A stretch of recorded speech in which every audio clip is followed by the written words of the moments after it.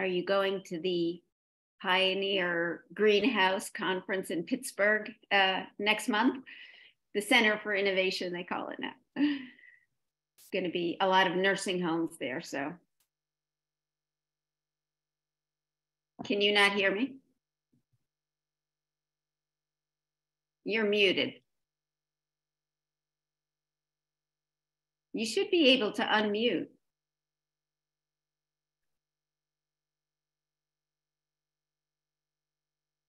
Ah, now I can. Thank you.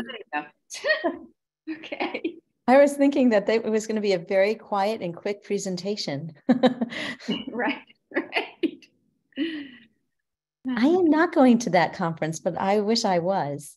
I've never been to a green greenhouse conference before, but um, Susan Ryan and Penny Cook have been very involved with you know our work, and um, and so have other people from Live Oak and other organizations that will be there. So um, seems like there's a lot of interest. So I think that'll be that'll be good.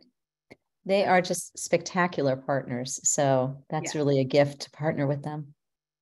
Yeah. Well, I see a list of names. Oh, they're not, we can't see them because they're not spotlighted. Hmm. Alice, if you can hear me, it looks like yeah. we've got a, a good group of folks um, on the right. call. I think about 45 Mary, of us. Yeah.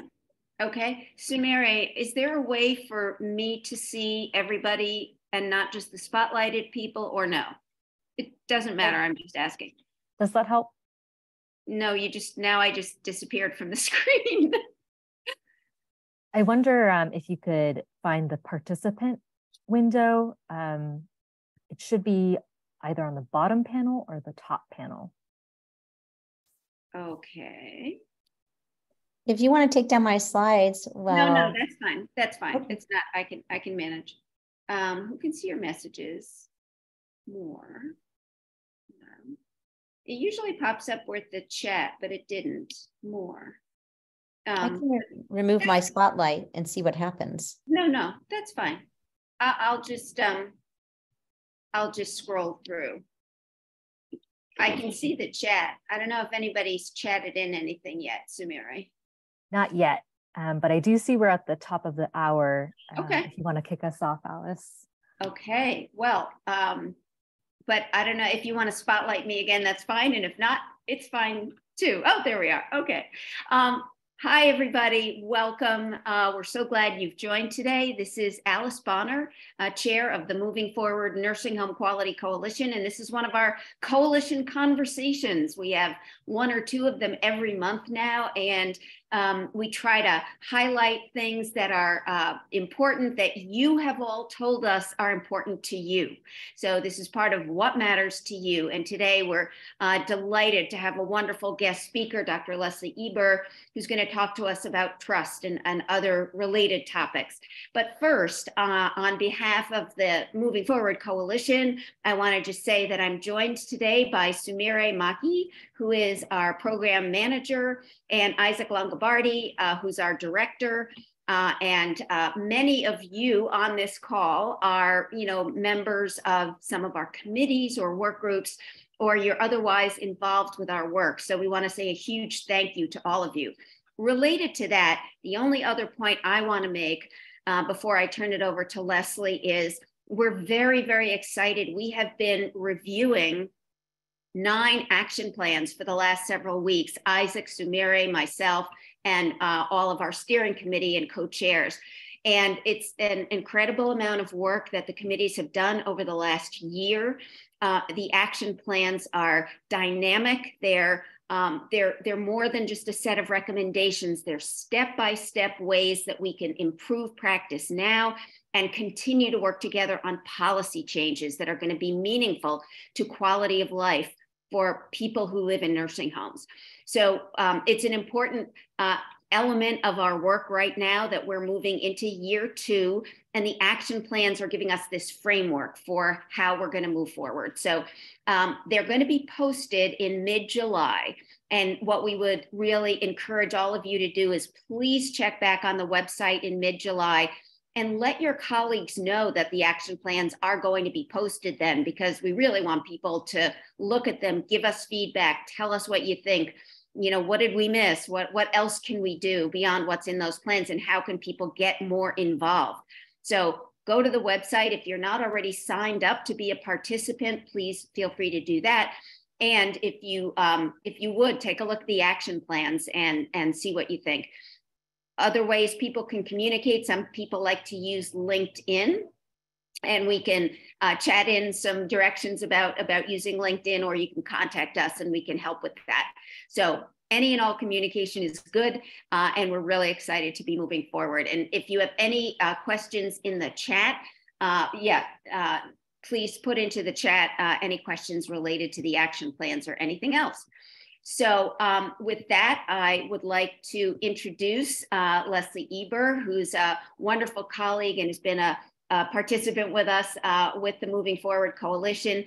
Uh, she got her uh, MD degree from the University of Vermont College of Medicine, and she did her internal medicine uh, residency at St. St. Joseph's uh, Hospital in Denver, Colorado. she's boarded in internal medicine and she's a medical director. She divides her time between a whole bunch of places and, in particular, practices at Rocky Mountain Senior Care. Um, she is uh, very involved with national policy. We were talking before about immunization rates during COVID 19 uh, and other aspects of immunizations. She uh, chairs the Colorado Dementia Partnership. She's on the national board of AMDA, the American Medical Directors Society, and many, many other things. So, with that, Leslie, I will turn it over to you to talk to us today about trust. Thank you so much, Alice. And it is just such an honor to be here. So thank you for having me. So today we're going to talk about building trust in the post-acute and long-term care uh, facilities in the post-COVID era. And I really think this is similar to when you roll the dice and the dice are in the air. And this is the moment when we can affect how they land. And so we'll be talking about what motivates staff to continue to walk through our doors. Next slide, please. So I have no disclosures or conflicts of interest. Next slide. And I really think that when we start trying to assess what motivates our staff to come back each day, and I think that's such a relevant conversation to be having right now as we're all struggling with staff retention. I think the cornerstone of that conversation is about a foundation of trust. So we know that trust is dose dependent. It's certainly not a one and done, and it needs maintenance. Trust is built, we can't mandate it or ask for it. And certainly it always has to have that element of authenticity. If you believe that I'm being real with you, that I'm all in, you'll know it. It's palpable. People know it when they see it. But when I walk into my facilities each week, I actually really consider what would make me trustworthy, worthy of your trust. And it has to be more than good intentions. You have to see it in my actions, in my follow through. And the most important thing I think we have to bring with us every day to work and with our interactions with everyone is that trust is personal. It, it really needs you to have a buy in into this process of building relationships. Next slide, please. So, one of the few silver linings of the pandemic, I'm not sure there were a lot, is that AHCA and NCAL developed this educational system. I encourage you to go and check it out um, about the three drivers of trust. And the entire educational uh, system was built upon a YouTube video by Dr. Frances Frei. She is a Harvard business professor and this 15 minute TED talk is well worth your time. Please go and Google it, check it out. And she talks about the three pillars of, of trust that is like three pillars that would make a stool stable. Of course, they are authenticity, empathy, and logic. And how does that play out in our space? So, authenticity, we found that that was imperative, especially during the pandemic, and especially when we started talking about this new COVID 19 vaccine. It was this messenger RNA vaccine. If people didn't really think that you were being authentic and truthful, being your real self, really that conversation went nowhere. And so we know that authenticity is really imperative to building that foundation of trust. And then you can build from there, of course. You also need to believe that I'm invested in you, that I care what happens to you, and that our relationship is, is meaningful to me as well. And so that empathy is really imperative as well. And finally, I need to say things that actually make sense that if I'm going to talk to you about a new messenger RNA vaccine or a new fall program or anything like that, I have to have some data to share with you as to why this is important to do and why it is factual. Is it science? Next slide, please. And so I really like this slide because trust is built on relationships, but I also think it's built on opportunity. Every day when we walk into our facilities, we have an opportunity to start that process of investing in people and building relationships. And so, yes, we need relationships to build trust, but we can choose to engage in that any day. And so now I'd like to also sprinkle this presentation with a couple of stories and personal experiences. So I'm going to ask them to pause uh, our slides. And then I'm going to tell you one of the stories. This story actually happened way before the pandemic. It was when I was sitting at the nurse's station, putting in some orders, and a CNA who I'd known for a lot of years came up to me and said, Oh, Dr. Eber, can I show you something? Of course. And I had known that she had moved with her family from Mexico, and we had developed this relationship where I told her the places that I had visited in Mexico and where she had come from. And we had this lovely rapport. She came and she brought me to one of my patients who is just a great guy. He had this huge smile and he loved to walk around the facility with his walker, his favorite thing all day long. And he would visit with people. And he had this infectious about him with his uh, joy of traveling about the facility. And she showed me his wrist, which was swollen and a little bit red. And when I asked him about it, oh, does your wrist hurt? And he's like, no, I'm fine. But when I palpated it, it was a little tender and I saw him wince. And I thanked her for showing this to me. I don't think I would have ever found it. I did an x ray, and indeed, he did have a fracture but I never would have found it really. And the next day, I thanked her again. With that rapport came better patient care, more authentic patient care, and really uh, elevated the care that this gentleman I had, you know, loved taking care of. I wouldn't have found it. And so that's where trust turns into elevation of care and, and joy of care. So we'll go back to the slides. Okay, and we'll go to the next slide. So, building trust within our post acute long term care community has some specifics about it. And so, it's really based on my expectations of you and your expectations of me. So, I'm going to expect and hope that not only you're bringing your expertise to the table, but you're going to put in that emotional work to invest in each of the patients and in each other. Your expectations of me are I assume that you're going to hope that I am going to be transparent and I'm going to be truthful and I'm going to give you the tools to be successful at your job. When we engage in this relationship, we need to do some active listening. And I really want to know how your job is going. I'm going to ask you questions. I'm going to use those answers to ask you more questions. So you're going to really feel that value that I am invested and what you have to say and what you think about your job. And I'm going to invite that collaboration. And then we have a working relationship, and I'm honoring you and the work you do. And I'm hoping to earn your trust as well. Next slide, please. And so that has led me to the idea of the you're worth investment in staff. And I found that this is really a successful avenue to build that trust with staff. I'm going to let you know that you're worth my time and my respect, and that you bring expertise to the table that I'm going to honor. And that trust, I'm going to try to get it to be bi directional. And I'm going to hear your solutions. One of the things that I try to champion in every building I go into is that the people doing the work eh, are going to be the source of the solutions of how things are working and how they are not working. And I'm going to listen also to your lived experiences. Have you been to other places? What do you bring to the table? And how are you feeling about the work you're doing? What could make it easier? I'm going to ask a lot of in questions, and you're going to see my investment in you. Next slide, please. So, actions we can all take in, include the respect and valuing of these individual experiences. And now we know we're learning every day. I think we're wiser a little bit now about promoting the sense of belonging.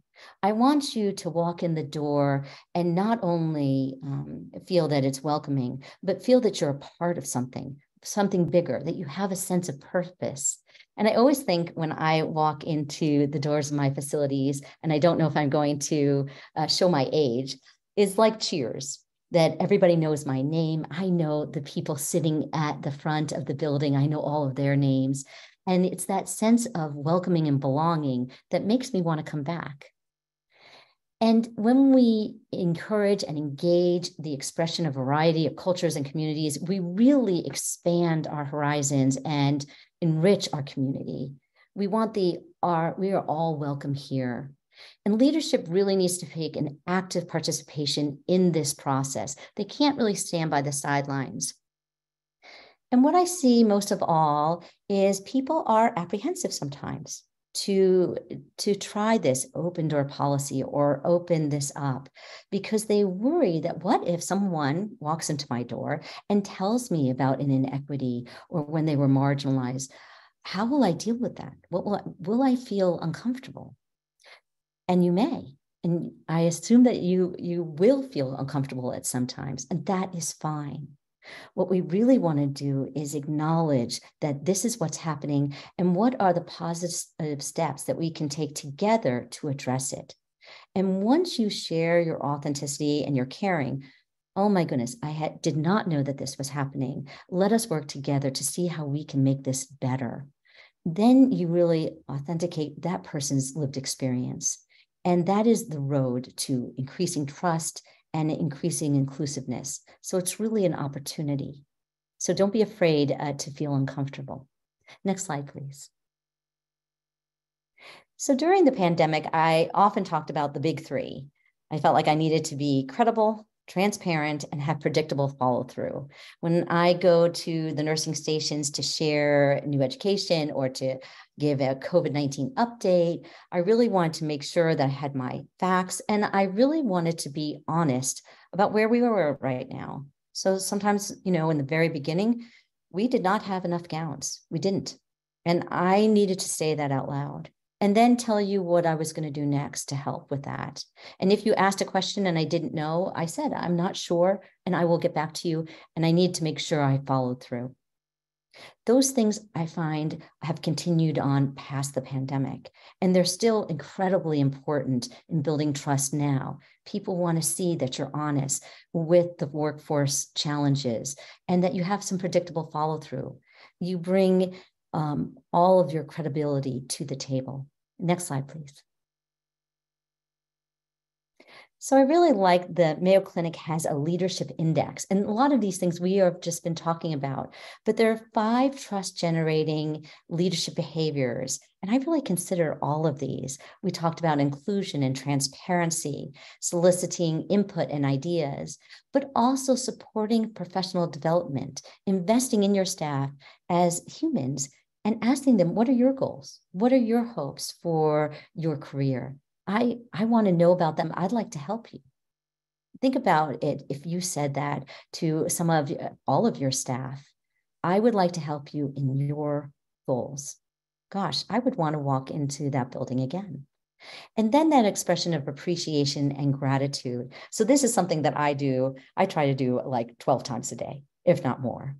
There is nothing like being thanked you feel so good on the drive home. You're like, you know what? I did something well. Somebody noticed and they thanked me. And that was empowering. And I remember that during the pandemic, and we can pause our slides here if we like. And I'll just wait. Oh, thank you so much. So during the pandemic, during one of the outbreaks in one of my buildings, it's a lonely place during those outbreaks. Everybody has their mask on, everybody's feeling super isolated.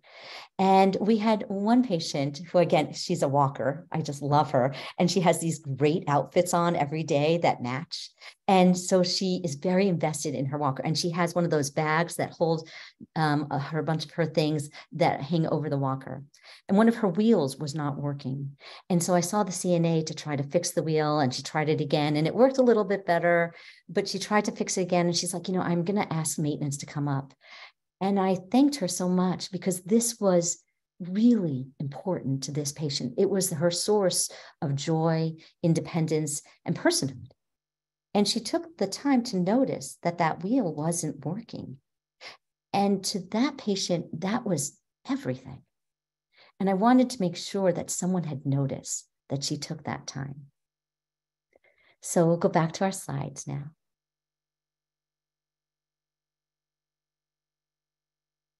And okay, we'll go to the next slide. So, how to promote trust in post acute and long term care? These are some more concrete things that you can do today be present, present in making that connection and be intentional with your communication. One of the ways to do that that i've found to be really successful is when i go to nursing stations and have conversations and i invite everybody to any kind of educational communication and conversation. So if family members are there or uh, residents are there everybody is welcome and if I always invite people to chime in. So if anybody ever raises their hand or has a question, first of all, I'm so excited that they have a question, but I really am very prescriptive on how I respond. And so often it is, that is a great question. Thank you for bringing that up. Or I had that same question too. And this is what I found or that you know researchers are looking into that. And let me find out what else i can see about that issue and i'll bring that back to you. But it's a great thought. Thank you for bringing that up. And you can see especially that some um, cnas and housekeeping or anyone they stand a little straighter. They have a little bit of pride that they were valued in that moment. They took a risk and they had some courage and they asked their question out loud in front of everybody and that leads to addressing inequality and power. And I think it's really important that we tend to that. So if people are brave and they take a risk and they raise their hand or they share an idea with you, the way you respond, that is a moment where you can build that trust. You can also address those barriers. So make it more inviting and maybe go into smaller groups and maybe uh, reach out to individuals like therapy or housekeeping or dietary, making sure that they have an opportunity to be valued and their voices to be heard. And sometimes those acts are the exact acts that build that trust. I like the idea of managing up again, I believe that uh, often the solutions are going to be found by the people doing that particular task. And so I want to hear those uh, ideas. I'm going to put that into our solution. And of course, when people see that their ideas are being utilized, that their voices are being valued, then they have a lot of pride and they invest in not only those solutions, but in the community that valued them. So we focus also on the A's and not the F's. I always speak with pride about my colleagues and everybody that I work with. You also have to walk the walk. So things go awry, things happen that are challenging, and sometimes you're uh, tempted to really be reactive. So put your oxygen mask on first, take a deep breath, because that's the moment when you can undo a lot of that trust that you spent all that time building. And so be really conscientious. How do I want to model how I'm going to handle this adversity? How are people going to see me react? Am I going to reach out and say, okay, this is challenging. Let us put our heads together and find a solution together? Or what do you think would work in this situation? Reaching out. And then showing empathy, grace, and gratitude, and being very specific with your recognition. And so I'd like to tell you one more story. So we'll put it on pause one more time. Thank you. I always freeze for a second. I thought, oh, that's a funny face that I have. And so this is a story more recently. Uh, my mom has been struggling with an illness, and I have been going back and forth from Denver to New York to help her. And when I came back, I walked into my facility where I just, I do, I love love the staff. Their integrity and their dedication is profound.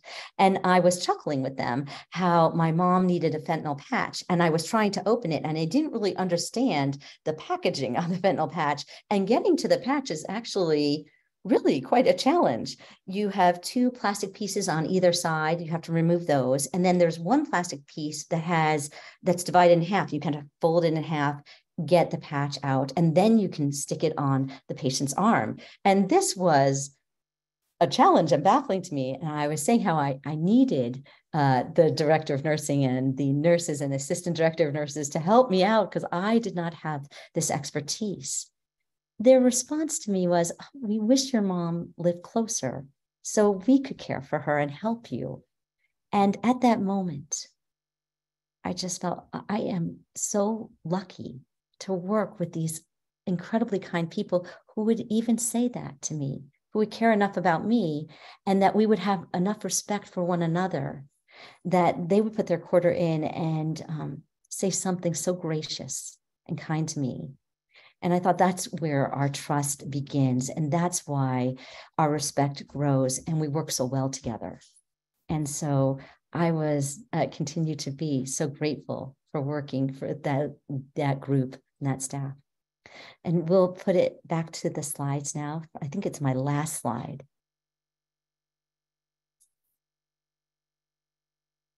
It's like an automatic review. Thank you. So, five take home messages, things you can do. Invest time in staff relationships. Sometimes we feel like, gosh, I don't have time to invest the time. But we now know that building that foundation, that investing in the, that time will make everything easier. One of the things that we've seen actually that has been studied is that when you invest that emotional time in staff, in residents, lots of good things happen. Not only do we see people with more satisfaction coming to work being part of that community, but we see that residents who trust their nurses and CNAs and dietitians, that they're more likely to ask for help for private things like going to the bathroom because they trust the people. And they also are much more likely to share when they notice differences. Of course, the person knows this the difference first. I'm having a little bit more trouble breathing. I notice that my sneakers are a little bit tighter. And that's an opportunity to engage and see how we can make things better. Maybe that's the beginning of a congestive heart failure exacerbation.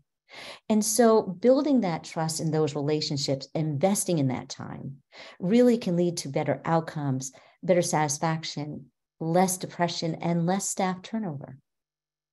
Asking for staff input in developing plans and solutions, invite them to copy and to any meeting that you have and listen. Sit back and listen to their perspective. Showing gratitude is easy. Thank everyone for going the extra mile people are more burnt out these days, even more than 2021 and 2022. We want to show our gratefulness. This is important work, and we want to honor the people who are doing it. Ask what they need to do their job better.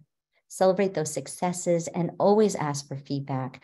I am in the habit for always asking, hey, how could I have done that better? Please don't be apprehensive for sharing with me how I can better engage, how I could have the conversation better. One of the uh, that I work with a lot, she has a wonderful way of communicating with patients. I learn from her every time we go see a patient together. And so these are things you can do tomorrow. And now I'd like to open it up for your experiences, what has worked for you, and to thank you for joining today. Thanks.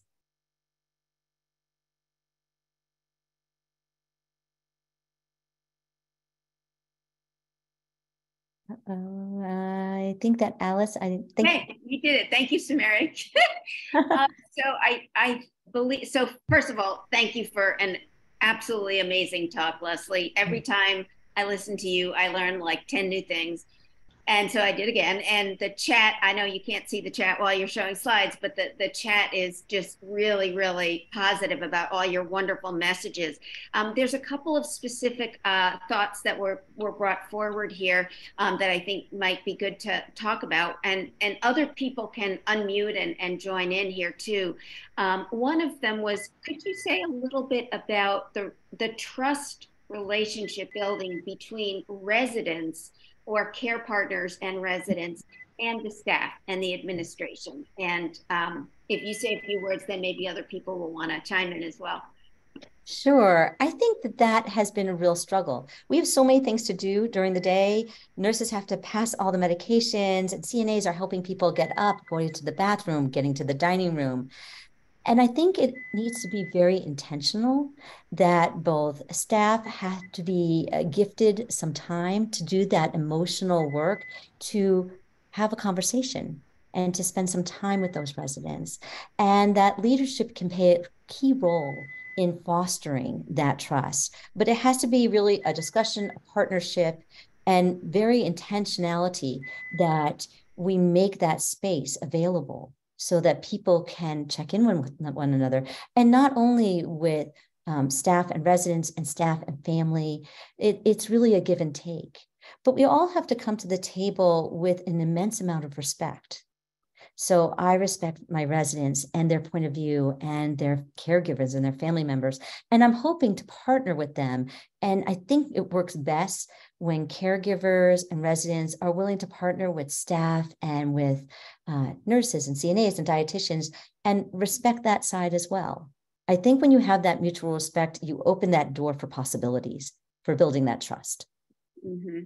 Um, and I, one of our wonderful steering committee members, um, Dr. Barbara Bowers, is on this call and she's chatting in. Barb, I don't know if you want to unmute and talk a little bit about what you said, but in your comment there, or anything else related to this trust issue, because Barbara works with many, many residents who joined the coalition uh, and outside of her coalition work too. So, Barb, what well, would you? I was just saying it just was yesterday when we were having I was having a conversation with I think it was seven residents about trust and one of them said, "Well, I have a great example. Uh, if someone comes in and says, "So what do you want?" Um, or "What do you need now?" Or "What do you want now?" which often happens, as opposed to "How can I help you?" It just makes a world of difference. Yeah, I, I agree. I always try to, before I leave the patient, what can I get for you? Mm-hmm. How can what else can uh, we do to make things easier so that before you leave the room, you make that offering to let them know that you're ready to listen right. Yeah and and also that you that you're focused on them. I mean right. that's so we forget that you know unless you you have been a patient or have been a resident or have been a family member and many of you have been in one or more of those roles but not everyone has but it makes such a difference when you're on you know in that role and it, when someone says you know what can i do for you right now? What would what would make things better for you? or you know just that that specificity and that focus. Um, and karen klink you have your hand up. Uh, let us know your thoughts. Yeah, well i mean i'm the one that brought up about the trust and you know i mean i love what what what dr eber said about all the trust and all but all those principles um, need to be taught. You know to to to staff administration in long-term care in you know in you know, in their interactions with family and residents. And, and I don't see that that that happening. As somebody pointed out, it is an us versus them situation for, for many, for many, many of us. And and the trust is is not there. And and and it's and it's hard enough between admin and staff, but it's less so with residents and you know and the people that run the long-term care.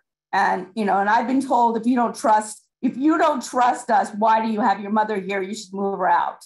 Like it's like I've been told that more times than I can count. But I've had not. I've I've been. My mom has been in more than one place, and the trust is not there. And trust has to be built, as you said. And um, I don't automatically trust. I automatically distrust, unfortunately. So um, all of these things, yes. I mean, that you know that stuff it, it doesn't come automatically and it, it's very very difficult And if we've been betrayed over and over again and we've been, you know, we are not trusting, um, I, I think this is all this stuff is, you know, important for for for staff, you know, feel these things, but it's also very important for residents and families to be able to have have these things also. Thank you. Right. Thank, thank you, Karen. And you've been one of the steady, strong voices uh, throughout our coalition, and we appreciate it. Leslie, do you want to respond or, you know, again, frame what, what Karen was saying in terms of those early steps? Like, what are the, you know, two or three things, or even the one thing that people could do? Sure. I mean, Karen, I think that what you bring up is really imperative. I think we are a work in progress. And so I think that some of it is being is rebuilding. I think you're right that uh, this is not always taught. And so we're in the process of taking those steps. And it, it takes a little bit of, of courage and um, putting your hand forward too to say, I would like this. How can we work on this better? And so that we can foster opportunity between you and staff or leadership or administration. And how can we take those baby steps? But you're right. Um, we are all works in progress. So i think that there is opportunity there. And i when i see it work best is when both sides are willing. Both sides are willing to uh, put their hand forward saying i want this to work when you have buy-in on both on all sides, then the likelihood of success really goes up exponentially. Mm-hmm. And I'll, I just want to add to that. Um, again, in the Moving Forward Coalition, as many of you know, um, we have uh, tried to think about how to integrate principles like building trust into multiple action plans. So you know, again, there are action plans. We've got uh, Mary Lou Ciaffi on this call. She's involved with one of the ones on goals and priorities. Um, we have other committee members. You, you, heard from Barb Bowers about, you know, resident preferences, and we've got people working on resident councils and other aspects of practice. But I also want to highlight we have a number of people on this call from QIN, QIO programs around the country. Um, quite a, a, few of them. Lisa Bridwell's on, Linda Kluge's on, Kim McCrae and others. And some of you are from long-term care ombudsman programs and, and other you know entities that really focus on so how can we make change happen not how can we talk about it but how can we make it happen and really implement not just educational programs, but that ongoing support that Leslie was talking about, that when she walks into a residence room or she walks into a, a staff meeting, that there's that rapport. And how do you get there? Because you don't automatically have that when you walk in the building. So um, anybody on this call, anybody at all, we've got advocates on this call, multiple advocacy organizations anybody should really please speak up and, and help us understand your thoughts. So Dr. Dan Haimowitz, you have your hand up, sir. I do. Hey, Leslie, that was great. I, I learned so many things. If I was like a quarter as good a doctor as you were, that would be terrific. but, but I just wanted to emphasize the, the communication part of this in, in two different ways. One is, is that for some reason in long-term care, people are so defensive. I've seen administrators who I who I really, really like when a, a family member or a resident comes up to them, they're like automatically defensive. So that's something I, I find the ombudsman are really typically very, very good at communicating. The other thing that I've, I've never read, and this is just from my experience, but I think it's such a good thing, is whatever, whatever, per, however a person presents themselves, right? Uh, particularly a family, however they present themselves, it's their ways of showing they care. So like if they're nice, you think, oh, they care. But if they're yelling at you instead of like, because everybody, many people like, oh, you know, you know, it's not my fault. I didn't do it. Somebody else, blah, blah, blah. If you think they're yelling because they care, they're angry because they care, they don't talk because they care. You, you, you typically shouldn't assume, but I think assuming people care and going from there has helped me so much. And I think it's a really good principle. So, but Leslie, you're the smart one here. So, you know, what do you think? Every everybody I, on this call is the smart one. I agree completely, Dan. Thank you for coming. Her props, Alice. Um, I also think sometimes asking a question. So if someone is very frustrated, find out more. Uh, so when did you see this happen? And let's kind of talk about how we can prevent this happening again, or what would work better. What would work better?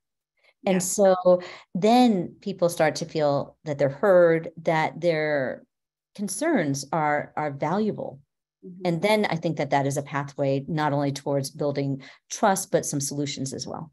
You know, I can, I agree, Leslie. Like if somebody comes up and they're angry because mom's diaper is wet, I think the good way to handle it is say, okay, show me, let's work on this together. Mm-hmm. Um, I'll see, let me find you the right person. I, I think taking some responsibility for it together really helps. Yeah. I think Thanks. that's great. And um, before we turn to Patty Moore, who's had her hand up for a couple minutes, I just wanted to say also in the chat, Irma Rappaport put in um, some information about the Essential Caregivers Act. And um, you know, again, there's there's a lot of activity around the country on caregiving issues, legislative aspects, regulatory, and just being an advocate and promoting the policies. So I would just draw your attention to that. Paul Falkowski talked about volunteerism and some of the programs he's been involved in. Thank you for putting in your website there, Paul. And um, Patty Moore, tell us from Martha's Vineyard or wherever you are what uh, what you'd like to share. Yes, Martha's Vineyard. Um, we too have all of these same issues and challenges for sure. Um, I think it's important to, when moving toward this wonderful world that you are helping us form, Leslie, um, to think, to do it carefully. And I mean exactly carefully, and to look for allies within the organization first before you just jump in, because you can get chewed up and spit out very quickly. Uh, and your ability to be a trustworthy ally um, can get severely dented. So I would hope that moving forward could help lead the way in some of those uh, conversations within an organization so that it is it is phased in some way because otherwise the damage can be very high and we don't have that many chances so thank you all for everything that you're doing Well, thank you. And for, for people who do not know Patty, I've had the privilege of knowing and working with her for several years in the work she's doing um, to bring age-friendly care and support to people uh, who are older who live on Martha's Vineyard um, and uh, everything from housing to healthcare and lots of other things. So she she is one of the true champions on this call. Um, so thank you, Patty, for that. And uh, you know, it's a great point about working with other organizations from the very beginning moving forward has tried really hard to say over and over we are not the group that has all the answers. We we never will be. What we do is convene organizations that do this work and build on their build on their shoulders and their work. Again there, there are people on this call who've been doing work for 30 or 40 years in this space so we really want to learn from them and work with them. So um, carolyn kasdan from ipro Oh, um, can I just uh, chime in Oh, and sure. just yes thank thanks Leslie. Uh. Patty, I just wanted to honor your comments. Uh, I think you're right that these things can be difficult. They can backfire, and you cannot find a friend on the other side of that conversation. And I think that that is absolutely uh, something we need to tend to and be very prescriptive about. That um, from corporate leadership down into each one of our communities to really be very intentional that that is not the way we want to move forward that we really want to respect that if someone is reaching out, if they are asking a question, if they want to invest in our community, that we need to be ready to listen and not make it a punitive situation. And so I think that your ideas and uh, this idea is really important to speak about. Thank you. Thank you. All right, Carolyn, over to you. Hi, I had a couple of thoughts, and one of them really was uh, along the lines of what Dan was saying about assumptions. I had such an aha moment as an administrator one day when I had a staff member come into my office in a panic because the family was sitting there writing notes in the room. And, and her thought was, oh, they're, they're trying to catch me at something right? When we're really out there preaching, patients should have involved care partners and take notes and make lists of your questions. And so I think you really do have to be very intentional about creating that environment where people understand it's it's okay to take notes and ask questions and be involved and not make those assumptions and label people as a problem family or as you know a, a staff member so that was a real moment for me and really impacted how i addressed um, trying to set that stage in my buildings after that.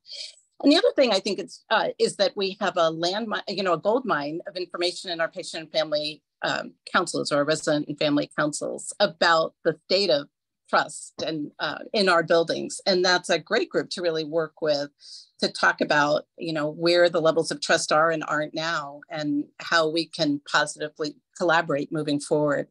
And it's a great way to make those, help make those meetings really be robust and productive and not just, you know, let's talk about the menu for next week or a, a, a common complaint. Yeah, and and thank you. So iPro is one of the QIN QIOs um, that's on this call today, and um, again, I just I want to point out the rather remarkable array of organizations on this call, um, which is what we strive for. So I, I'm glad to see it. But you know, we have geriatricians, we have nurses, we have funders. So many thanks to uh, Nancy Wexler's on the phone from the John A. Hartford Foundation that funds this work.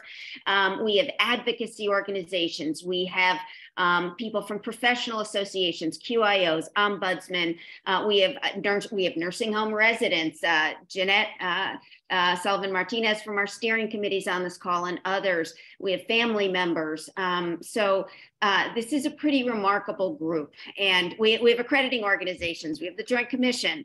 Um, so you know we really appreciate that people get on these calls and really want to hear from one another and and make the linkages and align the work that we're all doing. Sometimes people say well why do we need another group? But i, I think today's call is a good example of you know when we get a thousand people signed up on our website which we have um, from all over the country we can really do some meaningful work. We've you know we've got a critical mass.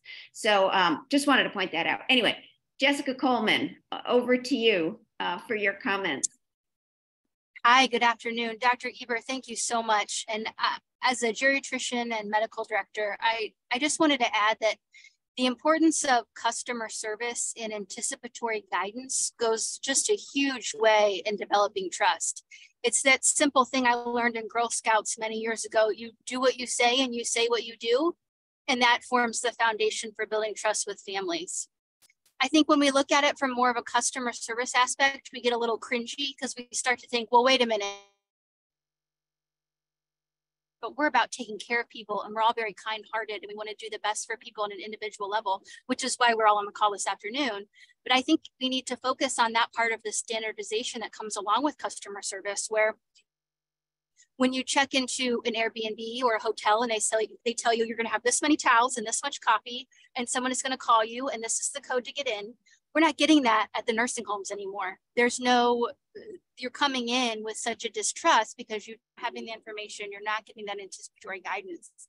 So I just want to make the point that, that we need to focus on the standardization of those aspects as much as we focus on the standardization of treatment of diabetes and heart failure and end of life processes. And, and again, just thank you so much to everybody who's on this call. I, I I've already learned a million things. and and Jessica, you are a medical director in the state of Ohio, active with the AMDA chapter there. Is that correct? Yes, ma'am. That's right. Okay, I just wanted to make sure I had the right Jessica Coleman. Um, so, just for others on the call, Dr. Coleman is um, doing incredible statewide policy work with her colleague, Dr. Tom Lenner, and others, um, working with um, the Division on Aging Director Ursula McElroy in Ohio um, they've got, you know, a statewide plan for aging, and they've got a task force that is directed by the governor um, to do some very specific work. And Dr. Coleman and Dr. Lehner and others um, through the AMDA chapter there are really uh, leading on a lot of this. And fortunately, we've been fortunate to have been invited to also uh, work with uh, Director McElroy, and we are doing that. We have a call in a couple of weeks. So just bringing it as an example of you know a clinician a medical director someone who's with residents and families every day um, who also is involved in statewide work for meaningful change. So um, i would just you know go back and also uh, introduce jane carmody who i didn't see her photo so i kept forgetting she's on the call. She's just listening because she's on her phone. But she wanted uh, us to see that the nursing home ancc pathway to excellence um, is also a very good program. And uh, um, moving forward has done work with that program also, and it's a it's a great resource. So um, you can take a look at that. There's a curriculum online. Um, so um, anyway, uh, I just want to make sure everybody who wants to make a comment has a chance to speak up. As I look through, I see Christina Ramsey. She's also one of our um, committee members. Has done a lot of work on workforce. Um, we have Alice. Other- while you're while you're looking, could I also add that for our family members uh, that are on the call, all of the QIOs have uh, patient and family counselors as well working on quality improvement efforts. So, you know, there's a great opportunity to engage with the QIOs and really um, inform that work in a broader level than just, you know, impacting one facility. So I, I encourage all the consumers on the call that have experience as a patient or a care partner to, to consider reaching out to their QIO and getting involved that way as well. And I also, oh, go ahead.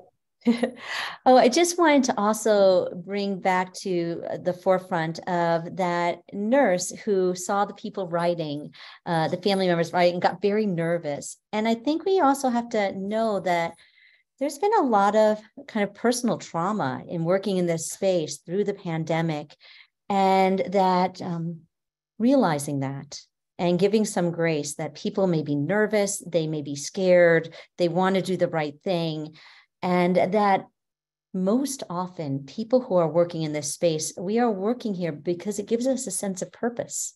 We want to do something good and we want to bring uh, help and some maybe joy to the people around us and coming into conversations with that perspective i think can be helpful in starting to build that foundation of trust and so and knowing that people may be nervous they may be scared um, I think we have to realize that more maybe than we do. Um, yeah, being scared is a big issue, and there's and and it goes across everybody. It goes across all of us. You Absolutely. know, whether we're providers, a family member, a, a, a resident or patient. Um, Absolutely. Um, a couple more things from the chat, just to highlight them for folks. So I don't know, Melody uh, Stark, if you if you want to um, say anything more about what you put in, but uh, Melody chatted in about medical directors and um, a piece of legislation about um, med- medical directors and SNFs and having that reported. That's been an issue AMDA and others have worked on for a long time. So Melody, is there anything else you might want to add to that or just direct people to checking it out? Hi, thanks, Alice. Um, sorry, I'm doing a lot of multitasking here, working and sort of listening in. Uh, but yes, I, I think this is one of the bills that people aren't aware of, and maybe um, Dr. Dan, you might be able to speak to it um, in in a broader uh, and more detailed. No, I'd, I'd be delighted way. to. I didn't I, set her. I, I didn't set her up to do this, by the way. Oh, wait a minute, wait a minute, wait a minute, wait a minute. I just got the Venmo on my uh, phone. Oh, no. you're under you're underpaid, Melody. So, so, just you know, House Bill, House Bill, uh, so HR 177 is really short. Basically, all it says is it wants the requirement for um, the name of the medical director to be listed publicly.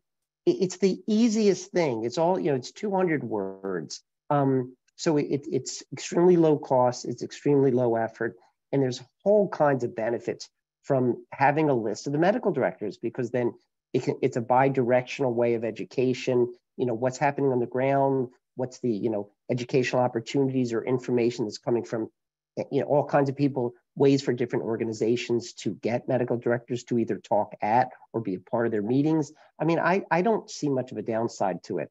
So the the ask really is to go in every state, go to your congressman and just say, hey, look, here's a real simple thing. Um, you know, um, yeah, yeah, I can get you the copy. It's really easy. Just say, look, all we want you to do is sign on to it. So Melody, thank you, thank you, thank you so much for bringing up. And everybody, we, we really uh, appreciate your consideration for that because it's just the simplest thing. Yeah, and, but, and the simplest Oh, go ahead. I, completely agree. Thank you, Dan. Um, it really then also ups that level of trust and accountability and mutual respect when you have somebody that you can call and ask a question and and find some direction that is powerful. It also really takes the level of care in all nursing homes up a level as well because when we can reach out to all the medical directors and say hey this is the latest for covid-19 this is what you need to know and share with all the providers and all the staff and all the residents and family members. It really gives us the ability to share and, and communicate information that's necessary with everyone. So it's very empowering. And I'll, I'll pile on. It's it's definitely transparency. Many people don't know who their medical director is. Many people don't know the facility even has a medical director. But from a mm-hmm. quality point of view, too, there are medical directors who might be underqualified. Like we hear these horror stories about nursing and medical directors who are like, you know, pediatric oncologists or, you know, th- things like that, or a medical director who's who's a medical director at 30 different nursing homes, which Leslie, I think you would agree, it's impossible to give good care uh, if you're medical director 30 different places. So Absolutely. there's m- multiple good reasons for supporting this bill, we think. Yes. Um, I just wanted to uh, take a moment to see Jeanette, or I know Cindy Napolitan is, uh, they're both committee members with us. Is there anything either of you would want to add to this conversation as, as nursing home residents? Sure, I'd like to say something, Alice. Um, the thing that crossed my mind is best practices for most staff members when they come in is they're always said, well, make sure you treat the residents like your mother or your sister or your grandmother. But in hindsight, not everybody had a great relationship with those people in their lives. So mm-hmm. basically, if we can go back to basics and you know, kind of the golden rule treat people the way you want to be treated. If you can give of yourself in a personal, professional way to your residents, then they in turn will open up and be feel trust, feel your trust. They will trust you. You then open a good rapport, and that can go along with all the staff members. Um, something that kept resonating me to me as everyone was sharing is kindness is free so being kind to someone, no matter what apartment they're in, what whether it's another resident to resident, whether it's a resident to a CNA or nurse, or an administrator to a nurse, kindness is free. And if we take a step back and think about how do we want to be treated in this situation, and then extend it to the others, I think we will make really good progress. So that's my thoughts for today. Love it. Thank you so much. Cindy, do you have anything you'd like to share? I wanted to talk a little bit about trust building. Um, I have talked to many family members who have had issues, and they've talked personally to, say, the DON or the ADON.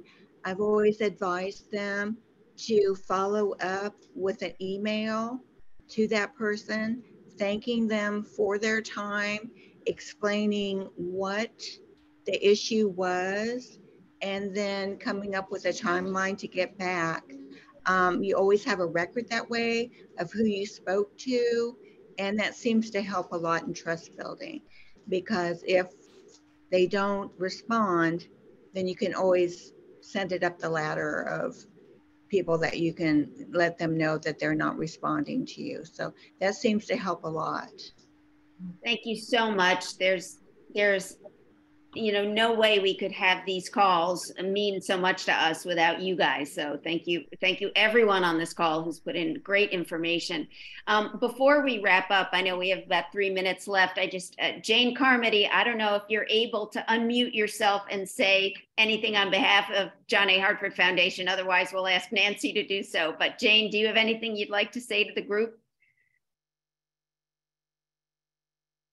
She might be driving or something. Nancy, I think this we'll, is Nancy. I'll just I think Jane's on a train and I know she's actively involved. She just couldn't can't get off mute so easily. Um, I'll just I think Jane already put it in the chat, but for those who could didn't see, um, the John A. Hartford Foundation is grateful to everybody on this call. We learn so much, we gain so much. We know that this is essential work and everybody's input here means so much. And this was this was incredible, this discussion today. So thank you, Dr. Eber. Thank you, everybody. Wonderful. Thank you. So Leslie, we'll, we'll give you the last word here. If you uh, have anything else you'd like to add or respond to, we're so grateful that you were on the call and gave this great presentation today. Well, thank you. It is an honor to do the work that uh, we all do. It is an honor. And so that's my thought when I walk in every morning is what an honor it is to be here and to be able to partner with these residents and the staff and my colleagues.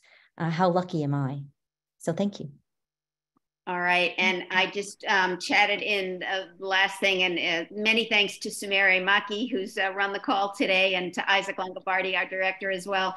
But um, please check back. The action plans will be posted on our website by mid July. We would love to know what you think. And we're going to have a lot of these coalition conversations that are going to focus on those action plans after we've posted them. So uh, again, a heartfelt thank you to everybody on this call. Please, you know, join us again. Uh, we so value all of your input and hope everybody has a great rest of your day and rest of your week. Thank you. Thank you. Thanks.